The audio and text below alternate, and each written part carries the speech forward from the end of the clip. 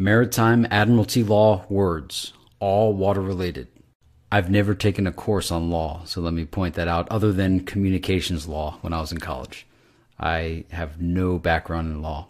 But I did see this video by Jordan Maxwell. He was being interviewed, I think, by InfoWars. And I had been reading parts of Redemption Manual 4.5. Someone had recommended it to me.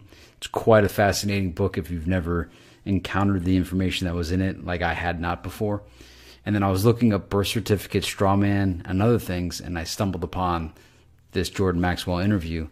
And in the video, he demonstrates or explains how humans are processed like products that are shipped in and received at ports, and that the language is all related to water, maritime, admiralty law words. So it was quite interesting because I had never learned of this, and these are the notes I took. So I didn't come up with any of this research. All I did was take notes on what Jordan Maxwell had said. So if you want to go straight to the source, find that Jordan Maxwell interview. It was so long ago, I don't even remember the name of the video. Your body is a corporation, a company. Dead body equals corpse. What? You know, that, that had never dawned on me that corpse is short for corporation. So your dead body is a corpse. International Maritime Admiralty Law is the law of money, corporation, law of the sea. I remember a long time ago, I don't remember how many years ago, but the Law of the Seas Treaty was being modified or something. It was a big deal. I didn't quite understand it at the time. Still don't, but now I realize how big of a deal it is. If I remember correctly, the acronym was LOST, Law of Seas Treaty. Your body is being bought and sold on the New York Stock Exchange. There's a couple of videos out there that I've seen online, and it says that if you look at the back of your birth certificate, there's like a number on it. I don't know if it was Canadian or United States, but they're saying that that number, like banks trade your birth certificate. And like if you go get the actual birth certificate, you'll see all these different stamps from banks on the back.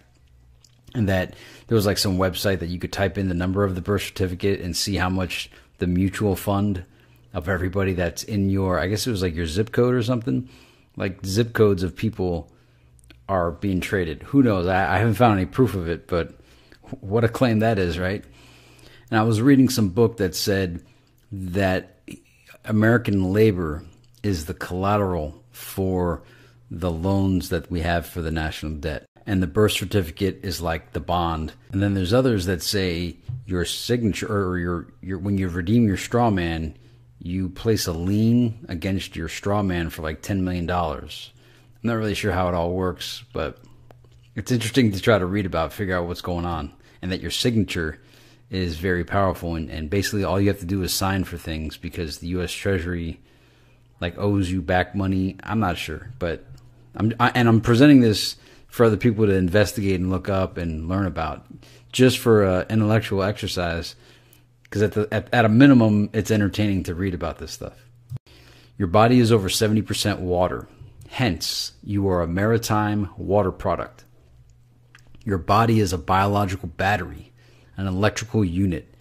And that reminded me of The Matrix when Morpheus says, in order to turn you into this. And it was a battery. A license is an agreement, permit to do something that without license would be unlawful.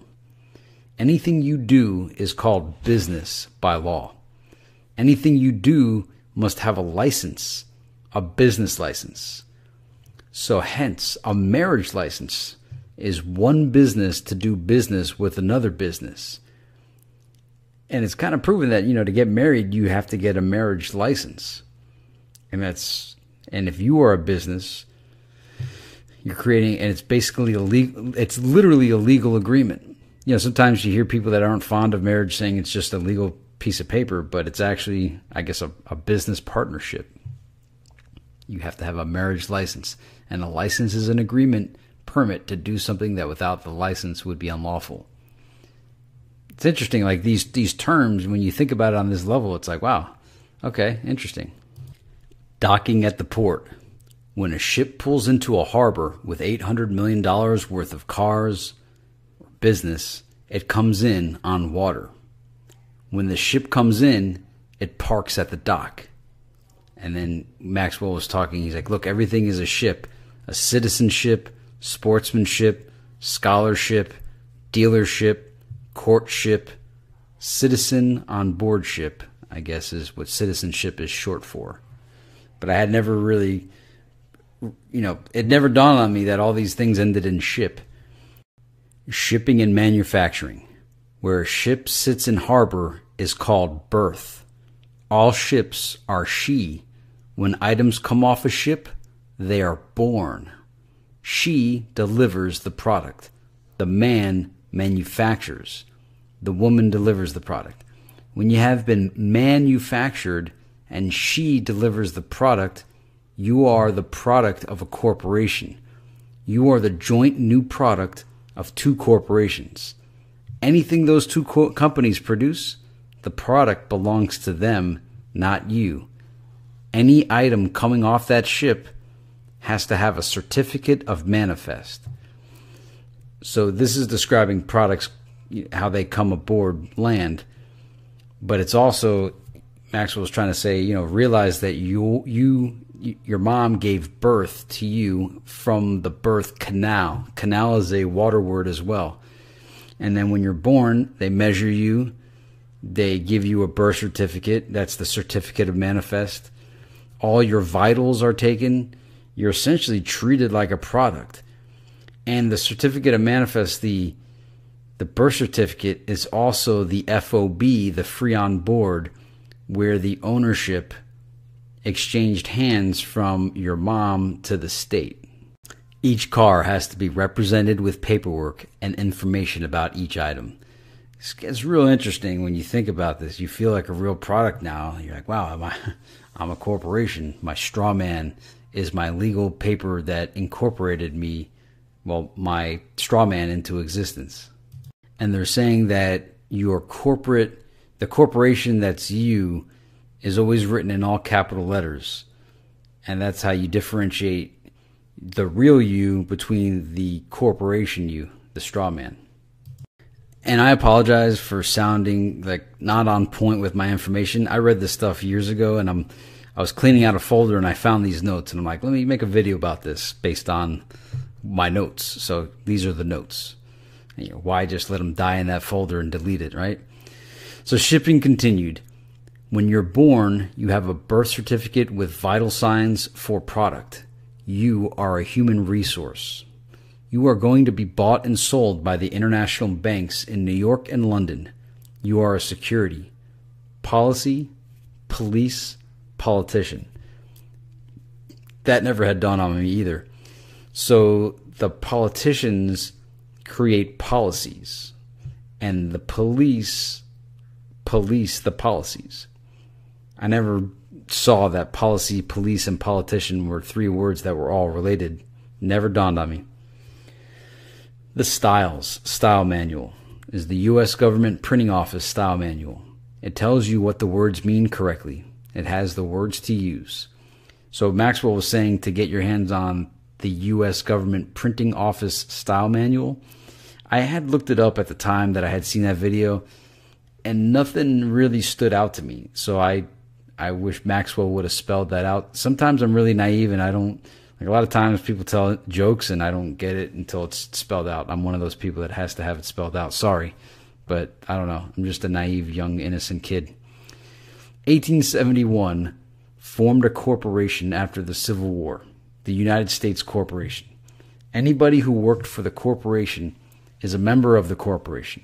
If you are a U.S. citizen and they ask you if you are a U.S. citizen, are you lawfully in America to do business? A lien is alien. And that never dawned on me either. So when they ask, he's saying, so when they ask, are you testifying that you are a U.S. citizen? You are saying, I am an employee, and then you're under the company policy, not the law of the land. And the law of the land is referring to common law as opposed to statutory law. So the premise of the whole sovereignty movement is that we're all living under statutory law, but we weren't told, and that the people say that they should be bound to common law. And that supposedly, if you write UCC 1 308, it's, it's you without prejudice or under protest, uh, it, it basically retains any rights you unknowingly or under false pretense agreed to surrender. So, yeah, supposedly you're supposed to write UCC 1 308. I, I, don't know what it really means, so I'm not going to write it down until I fully understand it. But that's a term. So, like, one of the points of making this video is I'm giving you neat terms and things to look up that once you go down this path, you're going to find all this info that you I had never known about. And chances are some of you might not have known about either. The and so I think they were saying statutory law became law in 1938. And as far as the 1871 thing, if you Google February 21st, 1871, supposedly that's when we all stopped being state citizens and became federal citizens or it was the day the United States became a corporation. It's neat. Just just go to Google and type in February 21, 1871 and you you'll see all kinds of results that you're like, "Wow. Look at all these look at all these titles here. This is this is really interesting." And I think that's also the day that Washington D.C. became Washington D.C., the capital of the United States. Liberty so Maxwell differentiates between liberty and freedom. So the Statue of Liberty is not the Statue of Freedom, it's the Statue of Liberty. Liberty is what a sailor gets when he pulls in a port and asks permission to go on land. If you get permission to go out, you have liberty. In America, you have liberty. You ask permission, you get a permit, you have a license. So we do not necessarily have freedom, we have liberty. And that's a whole new thing. You know, liberty and freedom, I think most of us thought it was synonymous, but apparently they mean different things. Court. This one's interesting. Court. Basketball court, tennis court. Court is a game like tennis, two teams of lawyers. They want to put the ball back in the other guy's court they volley to each other. The judge is the referee or the umpire. There is a gate and a fence. The gate represents a water gate. When the gate opens, the water raises the ship up. When you put your hand on the gate, you open the floodgate. When they call your name and you open the water gate, you are in hot water. Someone has to bail you out. The judge and, and bail you out. Bail is a water term. The judge rules from a bench. Bench means bank in Latin. So the judge rules from the bench or the bank. The judge sits higher up looking down on you. You look up to the bank, the bench. So that's kind of like in tennis too. The the ref sometimes or the umpire is, is sitting higher up. So court is a game. I mean, it's not a game for most people. And they were saying that uh, there, there's like all kinds of stuff online that tells you how to behave in court and what and what not to do. And uh, and now I understand why you want to why it's good to have a lawyer because he knows the rules of the game. Because court is a game, and you may or may not know the rules of the game. So all these words for court relate to water, the water gate, bail you out, and then the judge being the bank, representing the bank. So, because it's statutory law, I guess they're all terms of money. Like all court cases are based on statutory law and and where the money gets compensated. Again, I'm not a pro at this law, but if the judge is the banker, it makes a lot more sense. The Matrix. Mr. Anderson is your straw man fiction. Neo is your flesh and blood self, and you have the agents, and then you see the water and the fluid in Matrix. And obviously, that also has like baptismal aspects, but uh, it's been suggested that The Matrix is a movie about maritime admiralty law and strawman redemption and sovereignty. I always thought it was about you know like the world being pulled over your eyes, uh, that reality is not real. But when I read the passage I think it was in Redemption Manual 4.5, like their review of The Matrix 1, 2, and 3 are really good reviews. And they also do a review like on how it relates to law. And they also do a review of uh, the Wizard of Oz. And you know, you've seen others do the reviews like the real meanings behind all the characters and everything. But I've never seen it quite presented like it was in this So it's saying that Toto means all. So and the lady, the wicked witch or the lady next door wanted Toto, which meant she wanted everything. There was the Tin Man, and the tin was an acronym for tax identification number. Emerald City represented money, but you follow the yellow brick road, the gold, to get there. And that uh, the original version, Dorothy's slippers were made of silver, but in the movie they were ruby. Uh, the lion and the straw man. Look at that. So there's a straw man in there, and the lion needs his courage. So, so if you get a chance to, if you go, because this book Redemption Manual, it's like over a hundred dollars. I think they're on like version 5.0 now.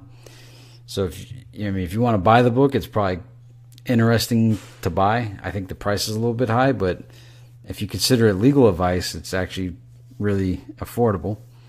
Or if you could find it online somewhere to read, but I, I guarantee you, you're going to see something like as a conspiracy theorist right now. I'm always out to look for the next new thing that I haven't heard of because at some point you begin to hear of everything.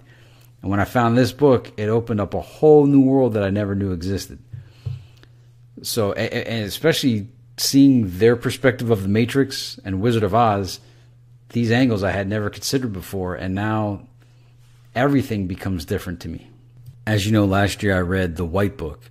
While most think The White Book is about Tupac, it was kind of about magic with a K, conspiracy theory. And I got a real good primer into magic and witchcraft uh, just basic, like high level, you know, nothing deep. But after reading the white book and then thinking back on the redemption manual and all the stuff about the court with the lawyers, I started to wonder. I'm like, are lawyers magicians? They evoke law, they cast spells and repudiate them. I object. The judge wears the robe. Yet the Black's Law Dictionary is like their book of spells. It's a Hadouken fight of casting spells at each other until the other doesn't have a volley to return. So I don't know. I mean, maybe it's like, yeah, of course you didn't know that, but I didn't. I didn't know that. But after reading the White Book and thinking back on this stuff, I I wonder, are the lawyers magicians? And it's like you need to get some, you need to get a magician to represent you in court because you don't know the craft. you know, back when I had initially read this stuff, I could have quoted it a lot better. Right now, I'm a little bit under the weather. I've been traveling. I'm going to travel next week. I just wanted to rock a video this week. I know my voice is a little boring, but you know, something something for people to think about while I'm gone. You know, and speaking of traveling, they're saying don't call yourself a driver, call yourself a traveler, because a driver is a legal term in their law world, whereas a traveler I think is like a common law term. And as I said, I'm really not qualified to even speak on this. This is this video's intent is to just give you things to look up, not legal advice. Uh, and don't even take what I'm saying as accurate. I'm just giving you neat things to look up to get it from more authoritative sources. I am not authoritative in this. So if you want to investigate further, on Amazon, they sell Redemption Manual 5.0. I'll put a link in the description. Like I said, it's an expensive book, and then you also, I think, have to buy this like accompanying book that has all the paperwork. You can look up videos by Jordan Maxwell. You might even find the video that I'm referring to that I took notes on all that time ago. If you've never seen The Matrix, you should watch it. I mean, I, I couldn't imagine anybody not seeing. It's like Star Wars. You're like, wow, you never seen Star Wars? You never saw The Matrix? And if you've seen The Matrix, you might want to watch it again with this new idea of looking at it as a movie about law, like an analogy for law, straw man. There's a video on YouTube. I'll also uh, paste the link for this. It's called Meet Your Straw Man. I'll also try to find that Jordan Maxwell link and I'll paste that in too. But the Meet Your Straw Man cartoon, it's a real interesting five minute cartoon you might want to watch. It uh, it gives you a primer into something that we all might be missing out on. The sovereignty movement, there's a lot of information out there on that. I, I think I initially learned about it from either the movie Kymatica or the guy that narrated Kymatica. He made another movie or he narrated another documentary. It was one of the two of those that I got the lead. I never heard of the sovereignty movement until I saw that documentary. Secured party creditor.